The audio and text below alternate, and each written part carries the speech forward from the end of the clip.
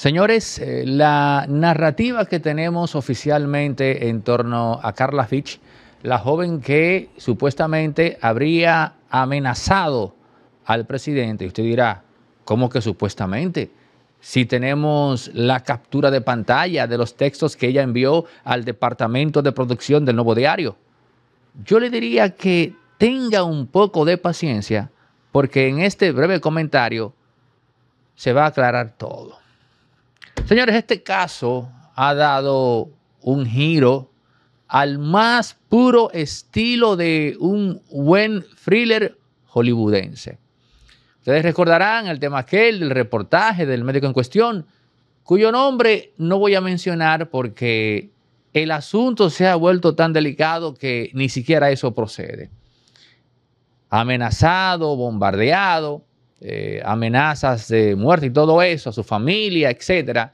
Entonces, Carla Fitch, que es supuestamente la persona acusada de estas amenazas, escribe al nuevo diario amenazando a todo el mundo, incluyendo a Jaime Rincón, al colega Jaime Rincón y su equipo de trabajo de un programa que tienen ellos allí en ese medio que ha echado hacia adelante Percio Maldonado, el nuevo diario todo un referente de la nueva comunicación en el país.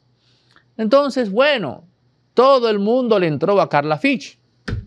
Yo, no tanto que le entré, pero dije, bueno, lo que vemos ahí, una persona que atento a que tuvo una relación sentimental con un general y que venga a suponer que por, o asumir que por eso puede darse el lujo de amenazar a un presidente, pero al mismo tiempo una persona que tiene órdenes de arresto que no se han ejecutado, yo decía, esa persona evidentemente tiene problemas mentales, pero aún así la amenaza a los representantes de la libertad de expresión es delicada porque cuando hablamos de libertad de expresión, no piense usted en los periodistas, no piense usted en los comunicadores, piense en usted mismo, porque la libertad de expresión es un irrefutable paradigma que tiene que ver directamente con la libertad individual. Simple, eso no admite discusión.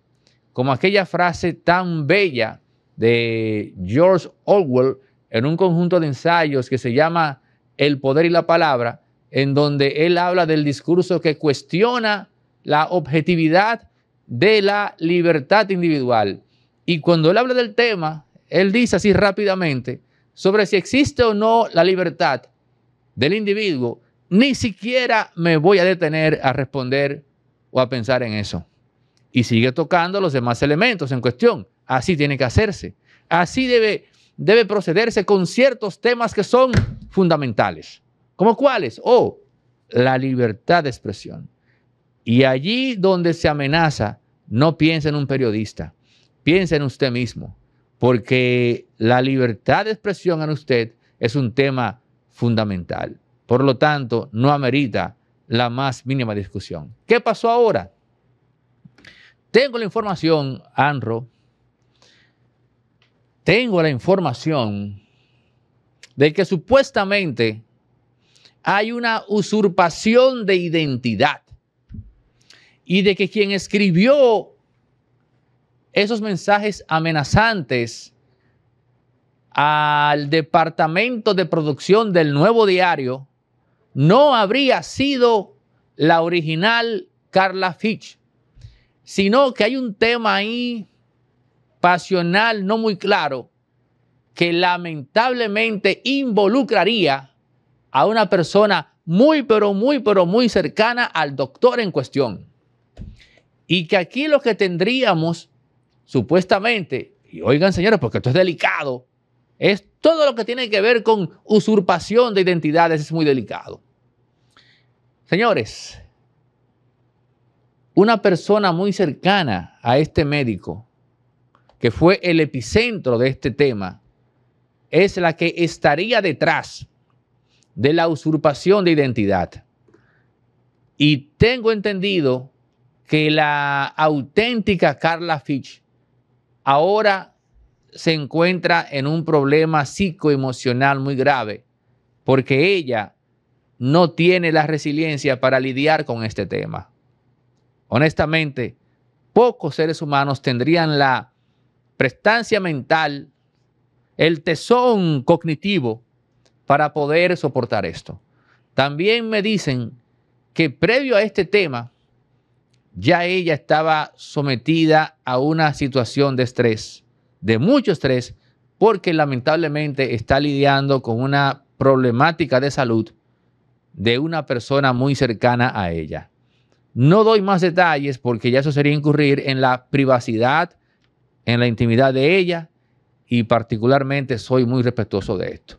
Anro, tu reacción al panorama que he descrito. Tú sabes lo, lo curioso de esto, que yo tuve un tiempo trabajando en Procuraduría y pues yo aprendí el tema de los crímenes de alta tecnología. ¿Pero en qué gestión trabajaste? ¿De Miriam? Eh, o sea, yo trabajé en un área como para alegar, ¿verdad? Pero yo vi muchas cosas. Entonces, los crímenes de alta tecnología, todo lo que involucre cosas eh, virtual en redes. Ajá. Entonces, hay algo muy, una línea muy delgada entre lo que se utiliza para dañar y lo que se utiliza para informar. Lamentablemente aquí los periodistas utilizan cualquier tipo de cosas sin una previa depuración para poder afirmar algo con exactitud. Aquí te tiran una noticia con, con de carácter amarillista, porque eso es lo que predomina hoy en día, porque sí. Entonces, siempre las noticias sobre algo tienen que ir en tela de juicio de creemos o e, esto es lo que se está viendo o eh, esto es lo que se presupone, no inmediatamente atacar, porque inmediatamente tú atacas a alguien como que es verdad, tú lo que estás insinuando lo que eso pasó y punto. Pero sabemos que, por ejemplo, te pueden hackear las redes, no puede ser tú exactamente y eso se puede probar. Y ante un proceso legal, de verdad esos periodistas, uno por uno, si es cierto esa información, se van a levantar y van a decir, ah, mira, excúsanos por hacer esto, excúsanos por referirnos a tu imagen de esta manera. Entonces, ¿dónde hay repercusión en un país donde se ha normalizado demasiado en que la forma de dar noticias sea de tal, de tal manera amarillista que lo que al final y al cabo daña a la persona? Y pues el estrés acumulado, el, los daños psicoemocionales que genera esto, no, no eres tú que lo vas a coger, porque tú lo que tuviste es tirando piedra por una noticia que tú no has confirmado si es de verdad o de mentira. Por eso yo siempre he dicho, no se juzga hasta que un juez no te juzgue. Bueno, una acusación, eh, es una frase jurídica, una acusación no equivale a condena. O sea, una acusación no es igual a condena. Exactamente. Entonces la gente entiende que una acusación es prácticamente el matadero, que es para tú indignarte y, y, pues, volverte loco. Y yo siento que es un fenómeno esto de la red social de Twitter, por eso yo no uso Twitter realmente. A veces le doy como que alguno, alguna revisión, alguna revisión a, las cosas nuevas, a las cosas que, que, de la actualidad, pero yo veo como que un ensanchamiento de personas que lo que buscan es un culpable para poder llevarlo al matadero. Cualquier acusación se convierte inmediatamente en un juicio. Ok, um, pero escuchándote, tengo que decirte que amén de que Hoy día las redes eh, nos han acostumbrado a este tema de linchar. No obstante, en esencia, la idea de, incluso aniquilar físicamente a una persona con solo una acusación, la podemos encontrar en la Revolución Francesa con Robespierre cuando él planteaba que, el, que la simple manifestación de miedo en un ser humano era una prueba de que él era culpable, porque según él, la persona que nada había hecho, por lo tanto, no tenía nada que temer y por lo tanto era inexplicable el miedo en ella. Si tú sentías miedo, era porque tenías algo que esconder. Y si escondías algo, es porque eres culpable de algo que el resto no admitiría. Y ya ese simple ejercicio retórico o lógico era suficiente no para acabar moralmente contigo, no, sino para enviarte a la guillotina. No, culpable no, culpable y enviarte a la guillotina. Simple. Lo que pasa es que eso es muy desproporcional, porque tú, él caracteriza el miedo en un panorama muy simple, pero el miedo se puede dar por muchísimas circunstancias. Ah, tú no puedes tener miedo de que personas estén utilizando tu imagen como, como algo deplorable, como algo que quizá al tú ver reflejado, tú te sientes indignado por ese tipo de palabras. O sea, Vivimos en una sociedad donde ciertamente nos va a importar de una forma u otra lo que diga lo demás de nosotros. Entonces, ese es el fenómeno de las redes. Que las redes de una forma u otra, en un momento va, te va a dar miedo. Te va a dar miedo cualquier situación en la cual se te ponga, cualquier acusación que se te haga o cualquier chisme que ande por ahí de, de ti o de una persona cercana a ti. Ese tipo de cosas yo son muy comunes que den miedo y yo lo veo muy desproporcional el creer que si tú necesitas algo, tú no debes tener miedo. No, el miedo se da por circunstancias que tú no controlas, pero circunstancias que ciertamente atacan tu persona. Farmacia Medicar GBC está abierta de lunes a domingo, sigue en pie con su descuento de un 20% y también tiene su app que pueden descargar eh, los amantes de Android y la gente también de Apple. Farmacia Medicar GBC, la de nosotros los dominicanos. Lo comprendo perfectamente. El detalle es que en términos políticos, el terror y el miedo tienen una función y hay que procurar que las masas sientan terror y miedo a como de lugar. Por eso es que el discursito este de la transparencia ciudadana encierra un gancho. ¿Y cuál es ese gancho? Sacrificar la privacidad individual bajo el pretexto de que qué más da que tú seas transparente a los demás si tú no tienes nada que esconder. A lo que yo respondo categóricamente, sí, yo tengo algo que esconder. Sí, yo tengo pecados. Sí, yo tengo cosas de las que avergonzarme ante los demás. Y no es nada malo que las oculte. Al contrario, así tiene que ser. Porque una sociedad en la cual todos seamos transparentes y nos, y nos revelemos ante los demás tal cual, no sería una sociedad sana humanamente hablando. Es normal que todos tengamos algo que esconder. El detalle es que no todo el mundo tiene el valor de decir eso. Sí, yo tengo algo que esconder. Sí, yo hice algo malo y no está mal que yo lo esconda porque es mi derecho. Simple. Totalmente. Pero volviendo a Carla Fitch, si es como se me ha dicho, entonces una de dos o tenemos que pedirle perdón a Carla Fitch, cosas que no va a pasar, porque no es verdad que después que todos nosotros nos hemos hecho aquello en Carla Fitch, no es verdad que vamos a salir ahora a pedirle perdón. Yo conozco mi país.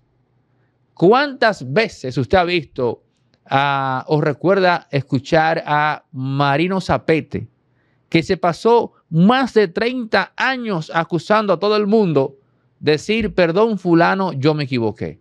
Y en algún punto él tuvo que equivocarse. ¿Y por qué? Porque él es un ser humano. ¿En qué punto ustedes recuerdan a un Chilora pedir, decir, perdón, yo me equivoqué? En las tantas denuncias que hizo. Yo no lo recuerdo. Y con toda seguridad en algún punto se equivocó, porque es un ser humano. ¿Cuándo usted ha visto a Nuria Piera pidiendo perdón? en las cientos o miles de denuncias que, eh, que ella ha hecho. Nunca. Es decir, los medios, cuando nos equivocamos, no decimos perdón. Me equivoqué. Y la gente, claro, yo soy una excepción de eso. La gente ni siquiera... Modestia aparte. Es cierto, pero la gente ni siquiera pide que, que los medios pidan perdón. O sea, la gente debería ser, eh, porque el público es el que tiene que meterle presión a los medios para que los medios reconozcan. No, porque, ok, hice el daño, no lo reparo, me voy por ahí y al final al cabo vuelvo y hago el daño de nuevo. El mismo modo operante que han hecho todos los periodistas de este país. Todos tienen la misma forma de trabajar que para poder ser reconocidos tienen que ser amarillistas, no son transparentes y lo que son es cizañosos. Entonces al final y al cabo el pueblo se la vive comiendo a cada rato, le aplaude cuando la pegan y cuando no la pegan, que es un, eh, la pegan de 50, la pegan cinco veces entonces ahí que le aplauden, pero después se desaparecen, inmediatamente no la pegan. Y nadie repara el daño. Y dejé lo mejor para el final. Dejé lo mejor para el final. Esas órdenes de arresto contra Carla Fitch por amenazas que no se han cumplido, no se han ejecutado porque se hizo una investigación. Se trianguló el celular desde donde se hicieron esas amenazas y se estableció objetiva y científicamente que no fue, que ni fue el celular de Carla Fitch y que ni habría sido ella. Y ese documento está en Procuraduría y está en Fiscalía. A mí se me mostró. O sea, en ese documento se establece que no fue Carla Fitch quien hizo esas amenazas, sino que fue la persona en cuestión cercana al médico cuya identidad se conoce. ¿Mm? Repito, cuya identidad se conoce. Ahora, yo diré algo. Si es así como estamos diciendo, a Carla Fish que no espere que los medios salgan a pedirle disculpas. Hija mía, ahora te toca a ti salir a limpiar tu nombre. Yo no vuelvo a hablar más de este tema. No vuelvo a hablar más de este tema. Porque lo mío es la política. Y hay una encuesta por ahí de la cual tenemos que hablar en otro corte, si te interesa lo, político, no sé. En donde supuestamente Wellington Arnott está compitiendo de tú a tú con David Collado para ser el candidato preferido del PRM. Pero hay que ver, porque está Carolina, está Yayo San Lobatón, pero eso es eh, contenido para otros cortes. Mientras tanto, si le agradó esto, suscríbase, claro, porque no tiene por qué gustarle por inercia, ¿no? También puede disgustarle. Suscríbase, activa la campanita, comente, comparta, dé like. Esto es impolíticamente correcto, la plataforma por donde transitan los cerebros más amueblados de República Dominicana y América Latina. Impolíticamente correcto. Simplemente tiene que entrar a cada uno de nuestros contenidos para que se percate de que eso es tan así como que 2 más 2 en aritmética elemental siempre será 4. Hasta el próximo. Resorte Media es también productora audiovisual y aquí tenemos espacios eh, rentables para producir contenido, pero también si tu empresa tiene una actividad fuera y va a hacer una transmisión en tiempo real, puedes contar con Resorte Media. También si necesitas alquilar equipos para filmaciones de películas o eventos, tenemos grúas de 40, 20 pies. En fin, otra cosa, artista independiente que tiene que hacer un videoclip en calidad 8K, 6K eh, con imágenes eh, de stock. Bueno, pues lo podemos hacer acá en circuito cerrado con los presupuestos más competitivos. Pero si también eh, requieres asesoría para la producción de contenidos en plataformas como YouTube, también puedes contar con nosotros. Resorte Media, todo lo que necesitas en todos los ámbitos cuando se trata de producción audiovisual. 829-741-361